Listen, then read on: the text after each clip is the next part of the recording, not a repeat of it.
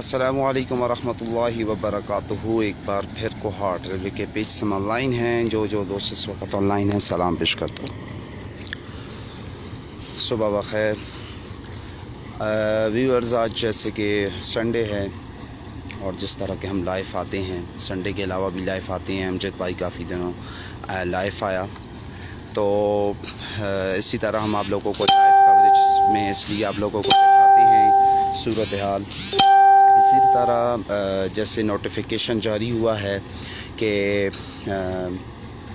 पंद्रह सितंबर से लेकर पंद्रह अक्टूबर तक, जो भी इसमें मतलब है कि कोहाट एक्सप्रेस के अलावा जितनी भी ट्रेनें हैं, उसमें जो भी सफ़र करेगा तो पंद्रह सितंबर से लेकर पंद्रह अक्टूबर तक जो एक डोज़ जिसने भी लगाई हुई है, वो सफ़र कर सकता है।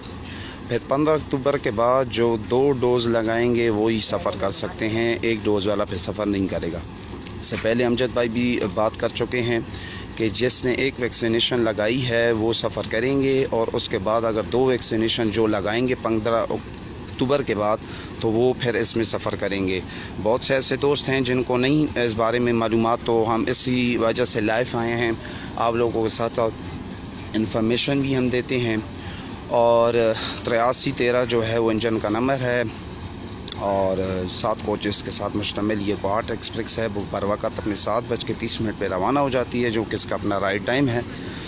और इस वजह से दोबारा मैं अर्ज़ करना चाहूँगा कि यहाँ से बहुत ऐसे लोग होते हैं, जो टाइमिंग के बारे में पूछते हैं तो सात बज के तीस मिनट इसका राइट टाइम है। आप लोग कोशिश करें सात बजे से आ जाएँ और कोशिश ये करें कि टिकट लेकर अपनी सीट पर इंतज़ार करें, और इसके अलावा सफ़ाई का ख़ास ख्याल रखें। और मैं काफ़ी दिनों एबसेंट रहा, इस वजह से मेरी कुछ तबीयत सही नहीं थी। और कुछ टाइम बराबर नहीं हो सकता था, इस वजह से लाइव नहीं कर सका। तो माज़ा चाहता हूँ, और इसी तरह आमजद भाई आप लोगों के साथ लाइव रहे। वो आप लोगों को डिफरेंट डिफरेंट जगह से लाइव चलाते रहे, दिखाते रहे। आप लोगों के साथ साथ कमेंट का भी जवाब देते रहे इन मैं भी आप लोगों को कमेंट्स का साथ साथ जवाब देता रहूँगा। आप लोग खूब इंजॉय करें, जो आज को हार्ट एक्सपेक्ट में सफ़र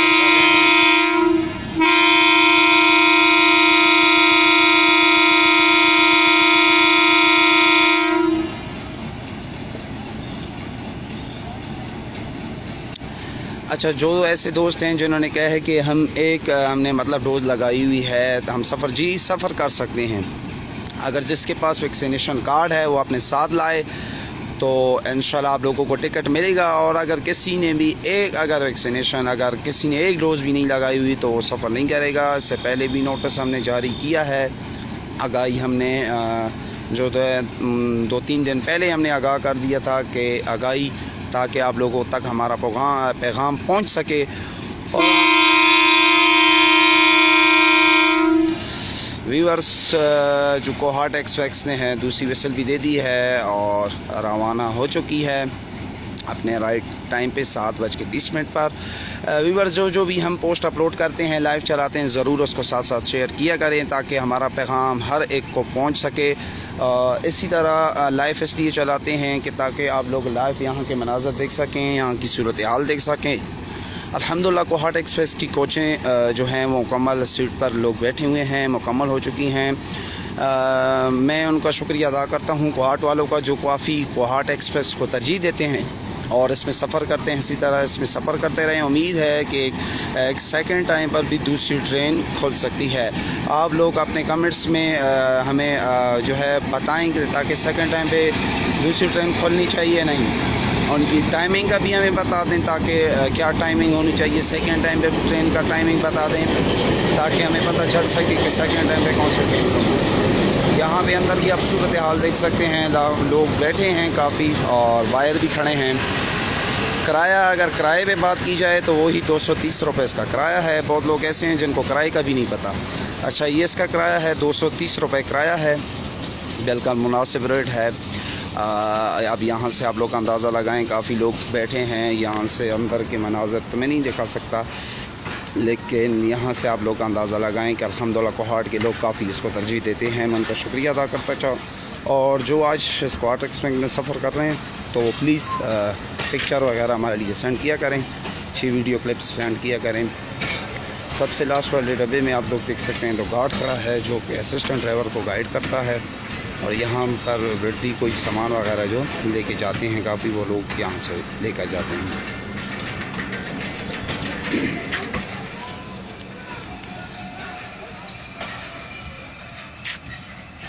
सॉरी मैं आप लोगों को कमेंट्स का जवाब नहीं दे सका?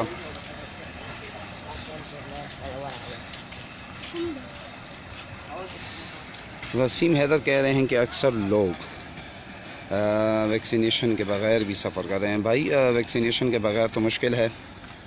हालाँकि यहाँ से जब वो अंदर टिकट लिया जाता है चेक किया जाता है तो साथ वैक्सीनेशन कार्ड भी देखा जाता है और कोड भी देखा जाता है तो इससे वह मुश्किल है कि वो सफ़र कर सके, लेकिन अपनी तरफ़ से आप लोग ज़रूर कोशिश करके आएँ और ये अपने एहतियात रखनी चाहिए। ना कि ये ना हो कि सफ़र के दौरान अगर स्टेशन पर उतार दिया जाए तो वो अच्छी बात नहीं है। कम अज़ कम जिसने एक डोज़ लगाई है तो पंद्रह अक्टूबर तक वो सफ़र कर सकता है। और पंद्रह अक्टूबर के बाद फिर जो दो डोज़ लगाएँगे, वही सफ़र कर सकेंगे। तब तक के लिए आज के यही सूरत हाल थी। आप लोगों को इन्फॉर्मेशन दी, मैं लाइव आया। जिसको नहीं पता था, आप लोग शेयर करें ताकि हमारा पैगाम हर एक को पहुँच सके। तब तक के लिए एडमन अब्दुल मतीन को इजाज़त दीजिए। नेक्स्ट वीडियो के साथ हाजिर होंगे। अल्लाह निगमान